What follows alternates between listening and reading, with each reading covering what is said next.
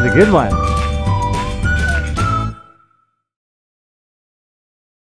Look at all the costume stuff we have. It's Halloween here, 2015 at Georgetown, and we've got lots to dress up as. The theme is pirates, though, isn't it, Cole? Yeah.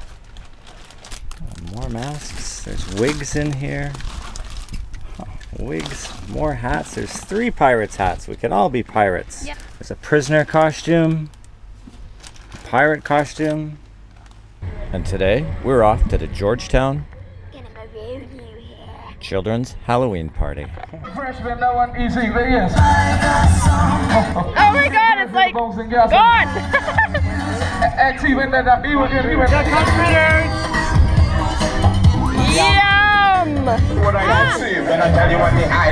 hide a in the green. Nah, the You won! Yeah! You won? Oh. Ah. A little impromptu junkanoo at the local school. And a few days later, Junkanoo practice at the local school. What do they call this music? Junkanoo. Do you play an instrument?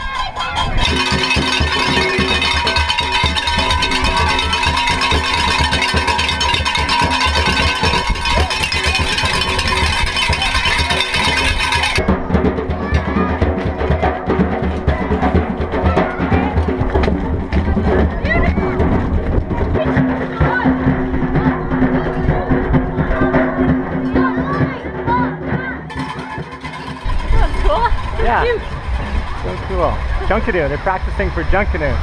For the big Junkanoo carnival that comes up in the, I think it's the summer. All right, downtown Georgetown.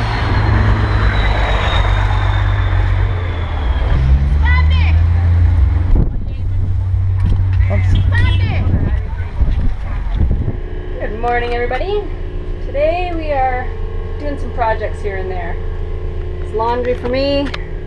Brad was working on some computer stuff, putting out some videos, and Cole has decided to clean the hall today. Doing a good job there, Mr. Cole. Hi. Hi. Thanks. How's it going? Good. Get it nice and clean? Yeah. Got a huge white uh, black spot off. Like this big around. Oh, good. Yeah. And as they say, cruising is a lot of fixing boats in exotic places. This time, an alternator issue. A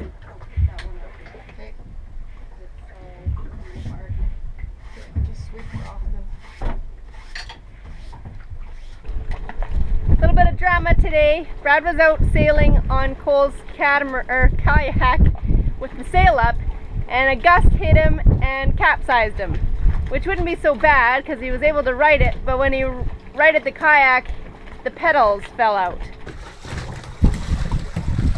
So now they're on a mission out there to figure out where they fell out. I think they've spotted them, which is amazing. We've been talking back and forth on the VHF to see if we can pinpoint where I saw him flip. But it's pretty deep out there. I think it's like 20 feet deep out there. So I hope that they can, I hope they're in a shallow spot. Cole's captaining the dinghy, dragging his dad behind the dinghy with a rope so he could snorkel and see if he could see them. And I think they found them, but I'm not sure. Fingers crossed. So I don't know if this is what they call the calm before the storm, but everybody in the harbor's been watching the weather like a hawk, and apparently there's a hurricane brewing over top of us that's supposed to hit in the wee hours of the morning tonight. So everybody in the anchorage is battening down the hatches, including us. Brad's strapping down any loose ends. First mate's helping him out. We've got everything strapped down up here. Kayak is all strapped. Same with the paddleboard. Neighbors there, they're hauling up their dinghy any minute. People have left this anchorage to move. Everybody makes their choices. So all of this will have to clear out. Anything that can fly away. So we'll let you know what happens. Hopefully it's uh, no big deal. And um, all is well. Well, stay tuned and we'll let you know. Fingers crossed. It's kind of pretty skies. Looks like nothing's going on out there. It's barely a cloud in the sky. Hopefully the forecasters are wrong. And it blows out to sea. This is the morning after the Hurricane Kate was supposed to come through our anchorage. We're thinking that it missed us, and that that's it way out there.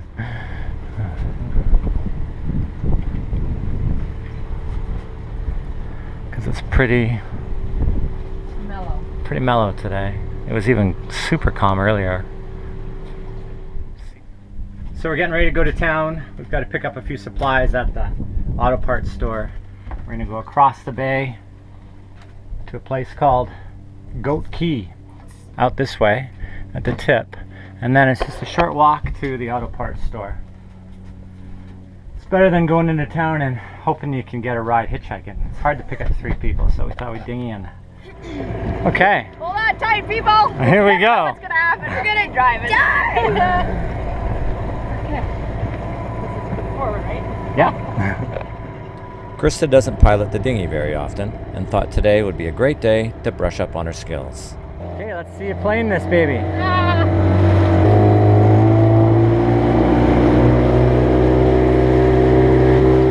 Almost there, a bit more. Almost, almost. Mommy is driving! Woo! Woo! Oh, it's too fast for me. Bull drives better than I do, that's for sure. Turn, but it's gonna be what's Goat Cay is the perfect spot to leave your dinghy for the short walk to the auto parts store.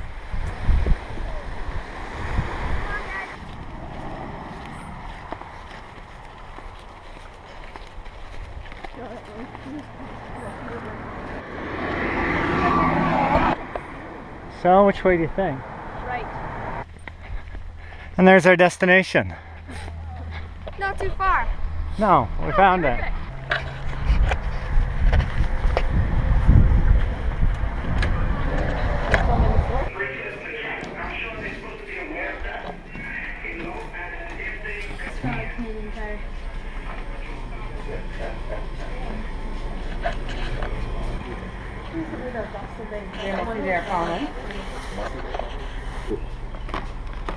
Oh, this is my lucky day. Are we gonna be on YouTube? Yeah, Yeah. yeah, yeah, Hey. it's a GoPro. yeah. Nice. All right, perfect. I'll take them both. Go down a pair. We needed to get to the lumberyard too. This would take some hitchhiking. Georgetown is a safe place, and we had no worries about putting out our thumbs, hoping for a ride. And it didn't take long. Soon we were on our way. Lumberyard. Okay, thank you so much.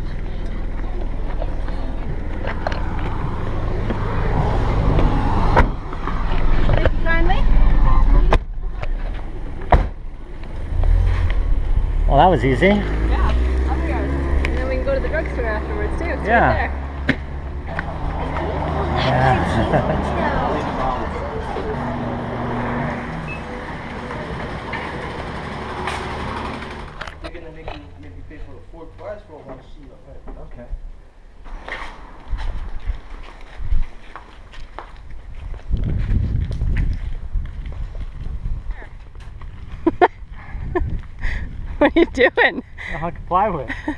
Going for a walk with a hunk of plywood? Yeah, I'm gonna try and hitchhike with a hunk of plywood. And then you're gonna put it in your dinghy because you don't have a car. This is gonna go underneath my bed because I need a firmer bed. The slats that are there get too much spring. It's hurting my back. So I'm gonna try this underneath. You guys have a great one. yeah, you too. Thanks for the ride. Thanks for the ride. One, you're a one lucky little one. Yes, I am. Yes, you am. Thanks, guys. Hey, Cole. Good luck. Even carrying a hunk of plywood, Thank you. Gotta grab our wood. we were still able to hitch a ride back to the dinghy. If you ever make it to Georgetown, Check out these nice guys' restaurant called Catch a Fire, home of the best sunsets on the island. Your favorite specialty drinks.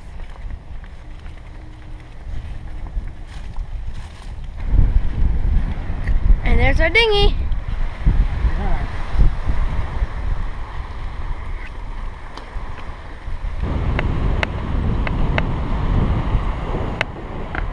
Just a day later, despite the gorgeous skies from the day before, another two day storm hits the harbor, packing with it nighttime winds of up to 50 knots. That's more than 80 kilometers an hour, causing boats to drag. Yeah, I'm on the uh, shell just off the generator, and I was uh, anchored in with the other catamarans, and uh, now I'm out in the ship.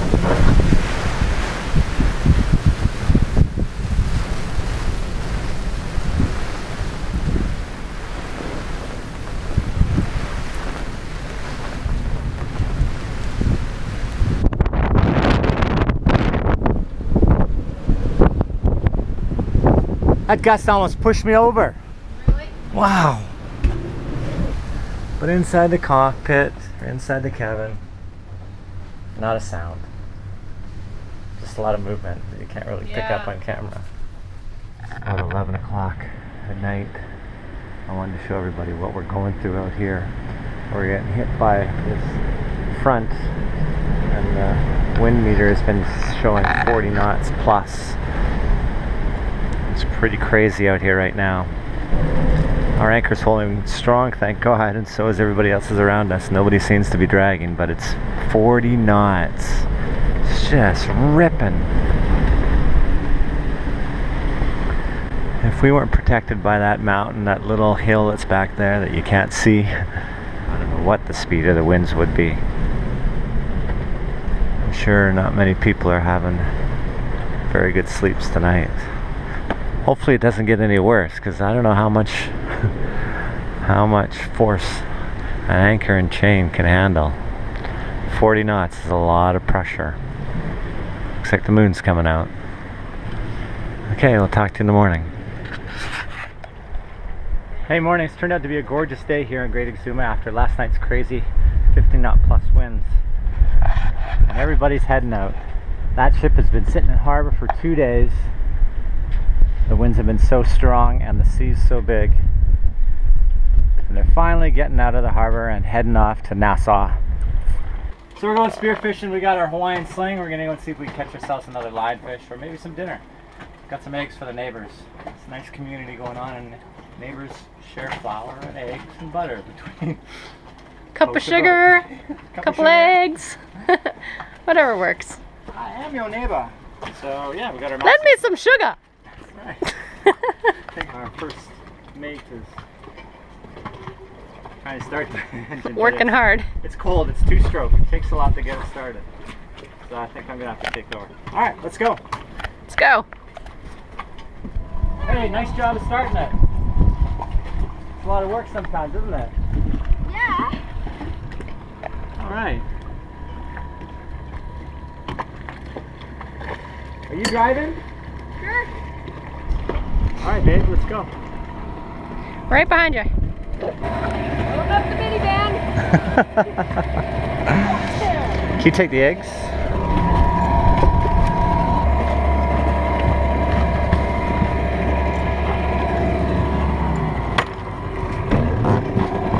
There we go. Here we go.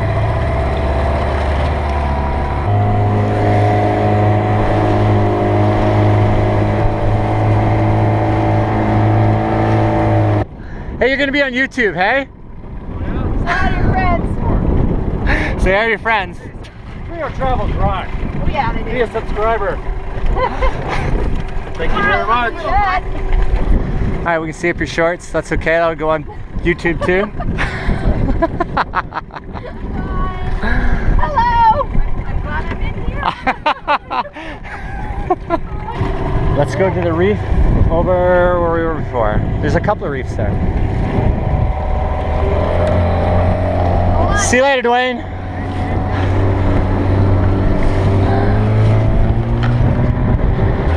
There's a small reef up here. Yeah. This one here, there's a bigger one there. Oh yeah. Oh, you can see a bunch of fish there. There's a bigger one here and there's a bigger one there. So let's drop the anchor right in here, Cole, in the middle here. Okay. Right here? Yeah, this is probably good right here. Okay, let's put the anchor down. Sorry. There we are.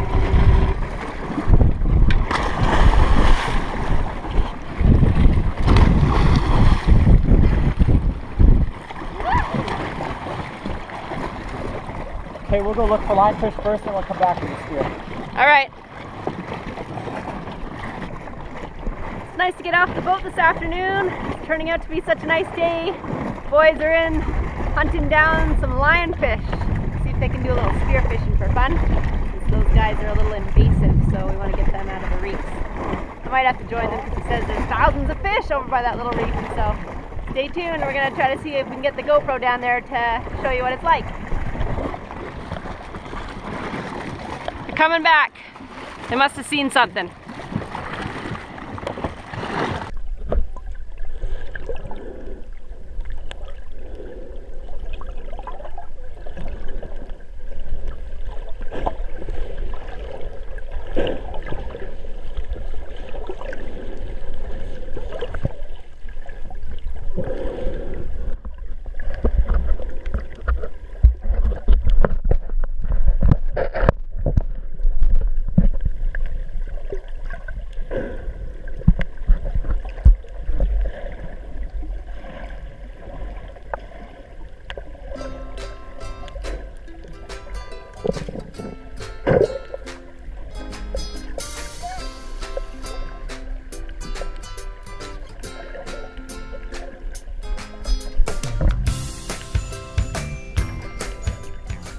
No luck this time spotting or spearing a lionfish.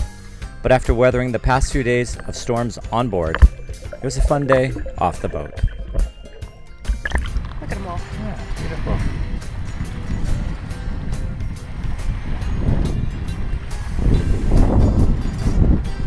Can't get on a beach without the, the sails.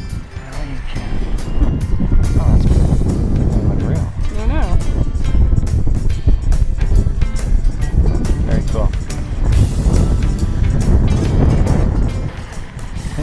A hummingbird nest. I've never seen a hummingbird nest before. It's right here. And if you look inside, you can see little pack eggs.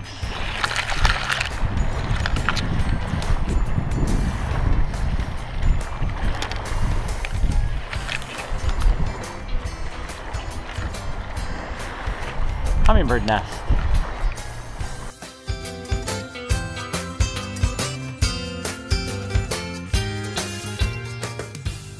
Well, it's almost the end of this episode. Thanks for watching and subscribing to our channel. We're in the Dominican Republic now, after a brutal 32 hour crossing. But that video, as they say in the Caribbean, will soon come. So keep following and get ready for our next adventure.